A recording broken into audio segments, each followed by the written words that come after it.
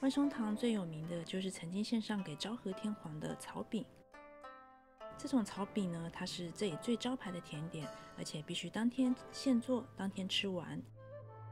在做的时候呢，要反复的揉捏捶打饼团，才能够让饼团拥有最 Q 弹的口感。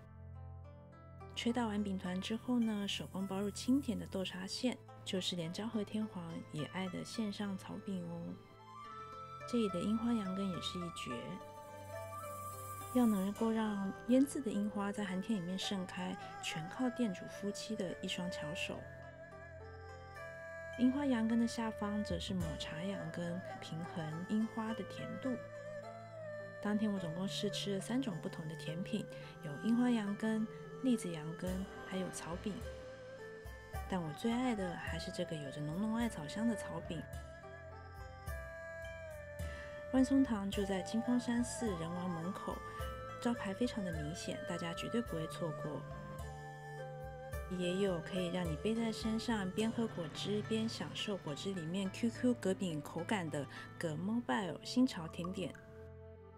接着就让我请万松堂的店主桥本英之先生给台湾朋友来一点问候吧。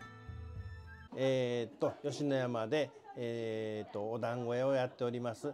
えー、私4代目になりますが、えっと昔からのえーと伝統のある、えー、素朴な、えー、お饅頭を毎日毎日朝から作っております。ぜひ台湾からもお越しください。お待ちしております。